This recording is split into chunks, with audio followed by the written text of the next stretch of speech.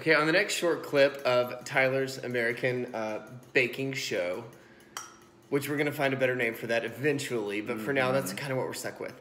Uh, he is going to make a pastel de nata, and I think that's how you say it. I'm not entirely sure. Sure. It's a Portuguese dessert.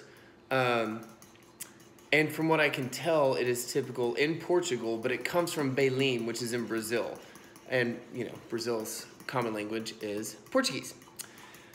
So right now he's starting to make the custard. With that, he has how many egg whites? Uh, six egg sorry, yolks. Six egg yolks. Once again, save the egg whites for me for breakfast. Mm-hmm. Um, a lot of sugar, which is Uh, I believe it's about a cup and a half. You want to say? about a cup and a half of sugar. Um, and, and if you have a glass, just do a tall glass of milk. Definitely look up the recipe online because we're just filming this. Um, and then this looks like flour.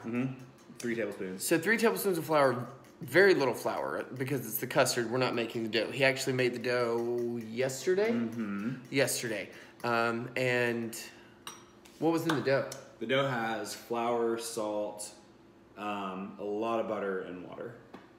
That's it. A lot of butter. Do you know how we know there was a lot of butter? Because when I was doing the dishes, there was still a lot of butter stuck to it, and all the butter in the fridge is gone. and all the butter in the free.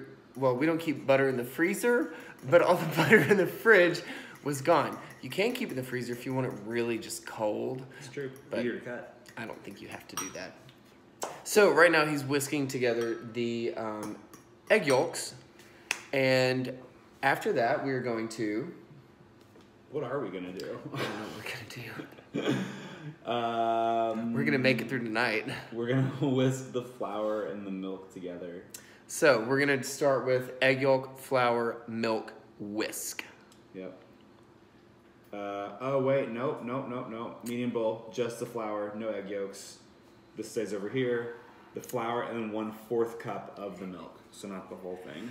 So how we're gonna measure a fourth of a cup out of here, I'm not really sure. I got you. But I think we're gonna use one of the two measuring cups. This is gonna be interesting.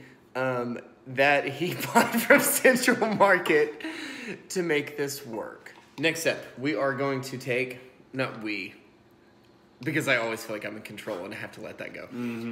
Tyler is going to take the water, sugar, and cinnamon, and he's going to uh, boil into a bowl. So this is his cinnamon. It is a pain to grate it? but you kind of have to do it. So you can do one of two things. You can pay a decent amount of money for a bunch of cinnamon sticks. Typically, you're going to use those to more so uh, kind of like simmer into a liquid so it infuses cinnamon into the liquid. But this is going to be in the actual custard. So you can't just bake the cinnamon stick because you don't want to eat a cinnamon stick. It's kind of disgusting and it doesn't taste good. Yeah. Um, so he's going to boil that Yep. until it is what? Until it is 220 degrees Fahrenheit. I'm going to use this new thermometer that Michael bought me. Michael went to Central Market today and bought him a digital thermometer so I don't have to stick my hands into the burning sugar and burn myself Right. anymore. It gives you Fahrenheit and Celsius. Yes, and it is digital. Analog is for Cowards. not that, but just people who don't get the digital.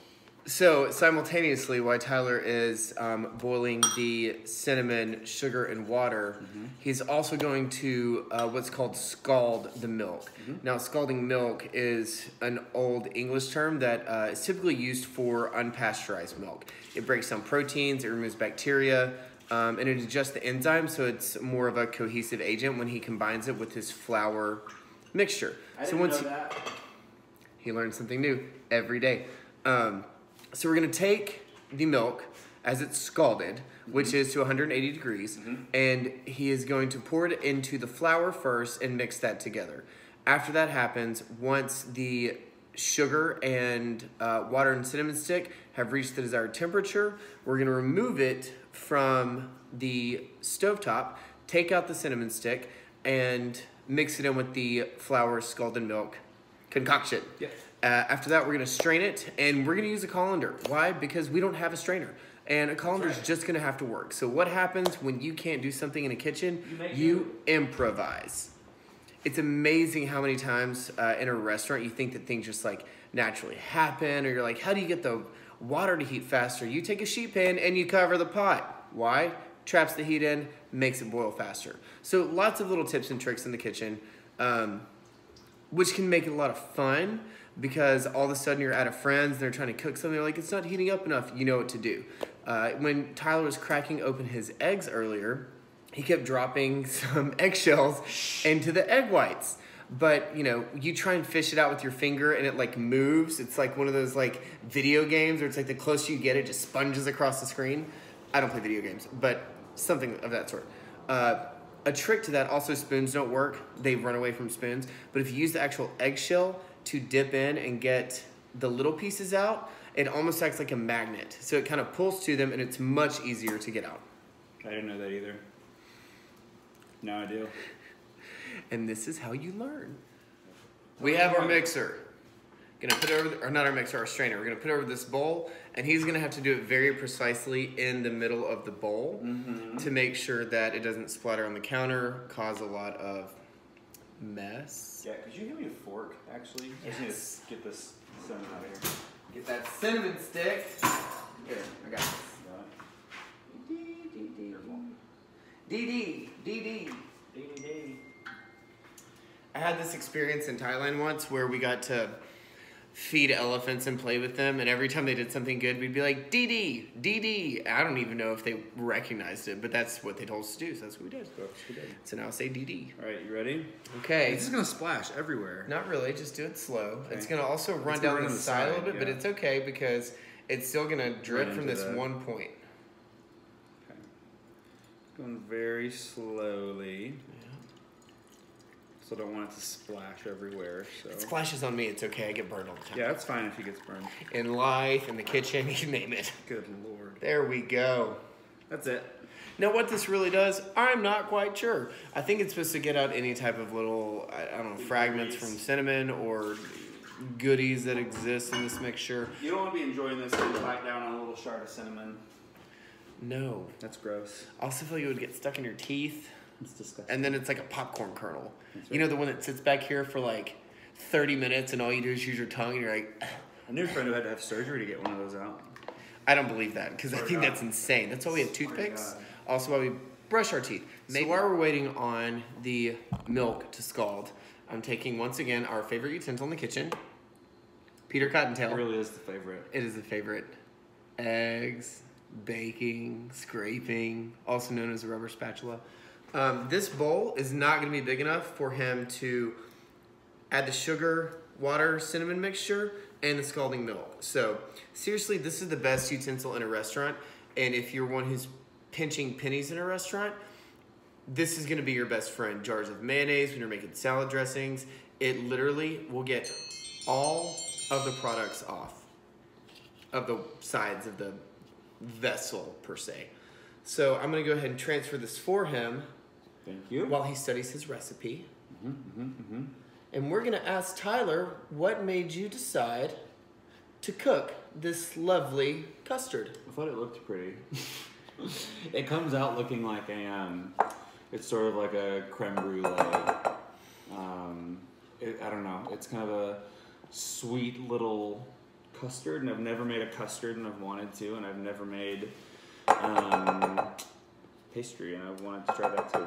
So this is So he hasn't ever really made a true custard like a creme brulee. He's he's saying that, but this is more like a creme brulee that that fits in uh,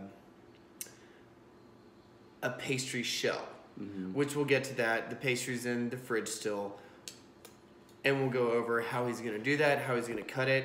He had to cut it to a specific length, 18 by 21 inches. He used his art tools for that. These things come in handy all the time. Mhm. And yeah, the milk should be about ready. Okay, so the milk is scalded. And he's about to slowly add it to the previous flour mixture. Mm-hmm. Mm-hmm. Mm-hmm. It's fun to watch a pro at work and not have to do anything because I kind of want to do it for him, but I can't. No. As you can see the steam coming off of it. We never got it to an actual boil. I think boiling is 210 or 212, um, which I could be very wrong. So, what he's going to do now is he's going to make the mix this in, and then he's going to add the vanilla. He's only adding half a teaspoon of vanilla. Not very much. I think it should be more, but my personal taste. Some people get overwhelmed with the flavor of vanilla because it's an extract, whatnot. Um, if we had vanilla beans, that would be incredible, because then we could show you how to cut them and get all the vanilla out. Mm. But we don't. Very unfortunate. Mm-hmm. Okay. Next is to pour the cinnamon mix into this. Do you want to do that? Do you do vanilla in it? Uh, no, that comes after that. Oh, vanilla comes after. Yeah. So this is our cinnamon water sugar. As you can see, it's got a little brownness to it, which comes Mm-hmm. from the cinnamon. Nice. And we're gonna slowly add it, and by slowly, we'll see how that goes. If you burn me. Burn, baby, burn. There we go. Beautiful. Perfect. Thank you. No. Then let's see. Soak this in hot water to dissolve the sugar. You obviously cannot put this on the stovetop to make all of this heat and go away. But if you put it in like really hot water, it'll go ahead and dissolve, or else you're gonna have to deal with this really sticky paste. Which tastes quite nice. kind of like Christmas. So I'm gonna do that. And Tyler's next step, he's gonna have to whisk this for a minute. Why? Why? Because it's a very hot liquid. Not quite boiling, but it almost got there. Uh, so when you make creme brulees and you have to, you do what's called tempering. And I don't know if tempering actually is involved in the same way because you're more so adding hot milk to egg yolks when you make creme brulees. In this method, with how do we say it? Uh, pastéis de nata, Pastéis de nata I think. we think. Uh, he's gonna add the egg yolks to this mixture. So he wants to mix it for a little minute, just because if he adds it too hot, what it's gonna do is it's gonna curdle the eggs, basically cook them. And when that happens, you're gonna taste egg. You're not gonna taste custard. The sweetness will still be there, but it tastes like scrambled eggs. And if you wanted scrambled eggs, I'll, I don't know, make We'll you. make a scrambled egg. I'll make you a quiche. yeah, this I think that's good. I'm gonna test this. I wash my hands all the time, like 25 times a day. He says. Feels good. Feels good. It's warm, but not hot. I'm gonna add some vanilla, half a teaspoon, which isn't very much. If it overflows a little bit, I'm not gonna be mad. No one's gonna be mad. I'm gonna be angry. There we go. Ooh, cool. Ooh, nice fluorescent brown. Mm-hmm. Looks delicious. Actually, kind of does. Okay, Whisk that so in. he's gonna whisk that in. And by the way, our whisk today is a fork. We have a whisk, but we're using a fork. It's where it fine. Actually, we don't have a whisk. We don't. We have whisk beaters, but we don't have a whisk whisk. I think I took it to an event like three years ago, and it stayed at the event. Saw one at Whole Foods the other day, and it was about eighteen dollars. So don't buy things at Whole Foods. Go to Marshalls or TJ Maxx or Mm-hmm. Home Goods. Not even Home Goods. even Central Market or HEB. Cheap. HEB over Central Market. Central Market's a little bit more expensive. I am frugal. Um, anyway, so where where would I go to an event where I take a whisk? You're like a person's dinner party, and they don't have one. No. So I'm on the board for the Austin Food and Wine Alliance, which is a nonprofit that supports uh, culinary grants for local businesses who are starting up in Austin. Uh, we've benefited Skull and Crossbones, Seriously Chocolate, Confituras, um, and basically they apply to help their business get up and running because we like to support local in Austin. Um, so with this, with the Austin Food and Wine Alliance, we give away grants anywhere from twenty five hundred dollars to 15,000. We have donors from Whole Foods. We have a bunch of really good sponsors who really help us out, and it's uh, one of the best organizations that I've been a part of. But we have two main events every year. We have Live Fire and Wine and Swine, and um, we have our past grant recipients come and they have their booths and they showcase their food and it gets everyone really involved in the community. And every single year ticket sales go up. I think when i started we were selling out at 500 or 550 and now we sell out at like 850 or 900 and it's pretty fantastic. So if you ever want to contribute to the austin food and wine alliance go to austinfoodandwinealliance.org and you can find a donations page where you can gladly give anything. Uh, we take dollar donations, ten dollar donations, hundred dollar donations, or a thousand. Um, also, what this goes to is the Culinary Arts Conference, which every year we bring 600 students throughout the state of Texas. You can go ahead and start mixing that in. Mm-hmm. We bring 600 students in, and they are all they compete for the best omelet, the best pastry, and they really get a feel for the you know the culinary world. And they get to hear great speakers and how they started their businesses and what they did. And it's just it's a really good cause to give back to the community um, because we all go out to eat, right? Tyler, do you go out to eat? Hell yeah. Hell yeah. I don't cook. he doesn't cook. Today he had chicken masala From uh, Trader Joe's. from Trader Joe's. In a box. And it was damn good. and it smelled delicious. I was very jealous. So as you can see, the egg yolks are in here, and he's just gonna lightly mix this up. This is quite thin, to be honest, and that's because it's not cooked through yet. So it's okay that it's thin, because you're like, oh, I'm gonna pour this into a pastry, and it's gonna be basically like drinking egg yolks. No, it's not. But we're gonna do that. This can actually stay good in the fridge for up to three days. Um, any custard kind of tan can. After a custard dessert stays in a fridge, if it's not covered with saran wrap, it starts to taste metallic. It pulls on that metal flavor from the fridge. Yeah, so you, you don't want custard that tastes like fridge. no, Maybe you do. no, you don't. I've never had a metal custard. but we're gonna let this sit for a second, let it cool a little bit, and then uh, start on assembling the pastries.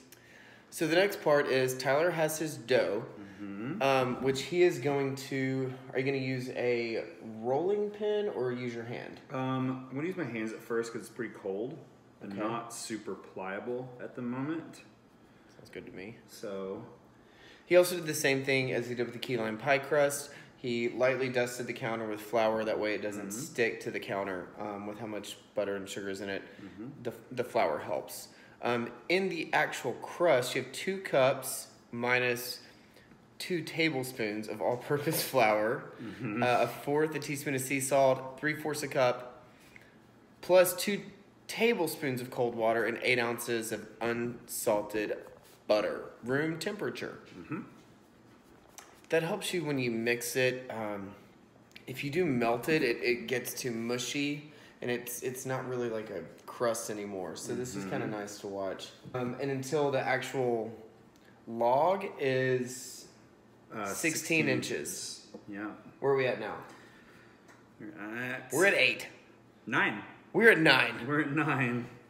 Just, That means we have seven more to go. it started at seven and we've got two. So yeah, seven to go. So he's gonna need a little work on this, so we'll be back. Give me some time. Okay, so he has now rolled this out to a solid 16 inches.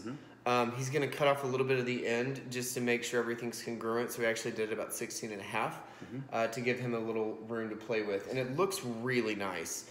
Um, right here on the end, you can kind of see the circle of how he rolled it out. And he's going to put it up against his art ruler and cut it inch by inch. And after he cuts them inch by inch, we're gonna let them sit for a second. Uh, oh, that's Build it up. perfect. You see this? See this? Look at that Subtle little ring pattern. little ring pattern.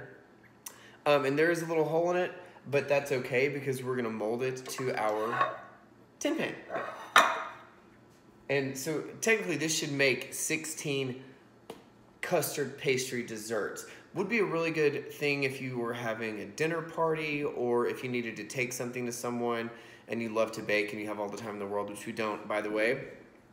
It's 10 p.m. on Saturday, Saturday during South by in Austin, Texas, which means we are not fighting traffic. Instead, Tyler is baking. We're inside. We are set. Also, I am kneeled down because when I bend over like that, all the blood rushes to my face and I get very red. You can't see my face. The Faceless Baker. It's also because I'm still recording this on my iPhone without a tripod. My tripod is a stack of books. I'm not hiding. He's not hiding. But he does have the nickname Ninja for a reason. Okay, we're gonna let these chill for a minute, and when we come back, um, our nice non-stick pan, we're going to start. I'm not going to start. He is going to start molding these into each little cup, and we'll go from there. Yeah. Okay, so Tyler has what looks like little marshmallows or dim sum, whatever you prefer Little sushis. little sushi sushis. and he is going to carefully fold them to fit in these little pie tins. So we have exactly 12. Yep. Sorry, I currently have a dog also trying to get in on this action. because he's never in the kitchen, they're always over here and they're like, "What are you What's doing?" wrong with you? Everything. I made a uh, yeah. So what you're gonna do is you basically put this in the pie tin, uh, mush whatever you call this muffin tin, and just kind of push it out to fill out the sides. So So as he does this, he's going to actually make um, the bottom of it a little bit thinner than the sides. That gives it a nice consistency on the sides. It also makes it look more like a pie, or like a little mini tart. Which is good. Also, he, you can't see this because he strategically places things far away from what he's doing. that's right.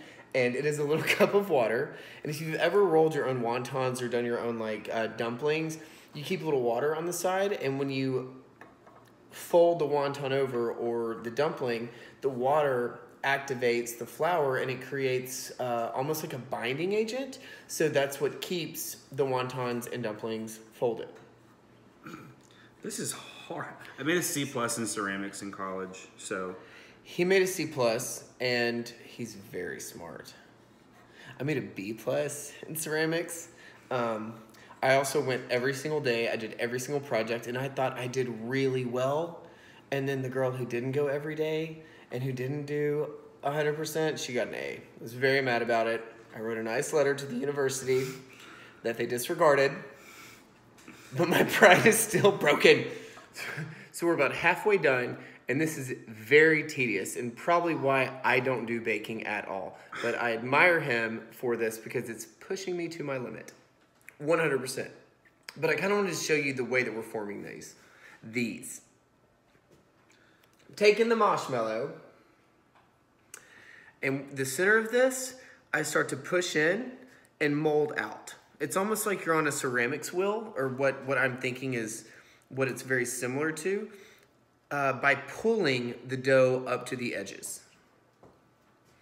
So you start with your little bitty cup, and you just work it. Also, we've never been to Portugal, neither one of us. We've also never eaten one of these. Nope. We've seen pictures. The Great British Baking Show has shown Tyler a lot, and I catch like an episode every like six. they make it look so easy. Easy. Everything looks so easy about baking, but let me tell you, it is not. It is not, but I'm, I like it. It's a challenge. It's different. It's creative. It's tedious. And it can be therapeutic. It is therapeutic, honestly. I mean, you know, a lot of people find interior design therapeutic. They like to shop. People are like, let me go spend money. That's therapeutic.